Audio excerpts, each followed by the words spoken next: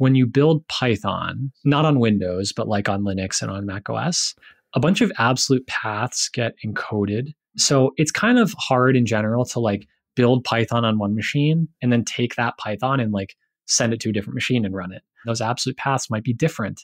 So in general, Python is not relocatable. Right. This causes some problems because it means that if you want to install Python, like with PyEnv, for example, PyEnv will have to build Python from source. So it Yeah. downloads the source code and it runs the whole build process. Now, this isn't true for everything. Like if you install Python through like a Linux distro manager, like apt install Python or whatever, Yeah, yeah. that typically doesn't have to build. And that's because in a Linux distribution, they can make a bunch of assumptions about where things are. So the Okay. absolute paths tend to be right.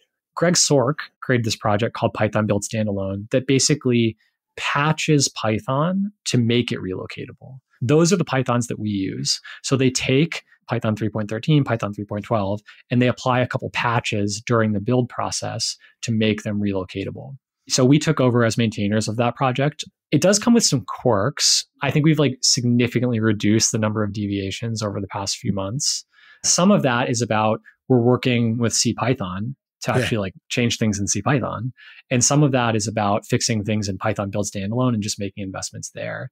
We do a lot of optimizations during the build to make the Python faster that PyEnv typically skips because it's kind of slow to like run that build process. But because we're just like building it once and then everyone gets it, everyone kind of benefits from that work.